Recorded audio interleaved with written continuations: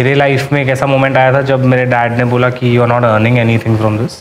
आप पैसे नहीं कमा रहे हो। Although I come from a very good well to do family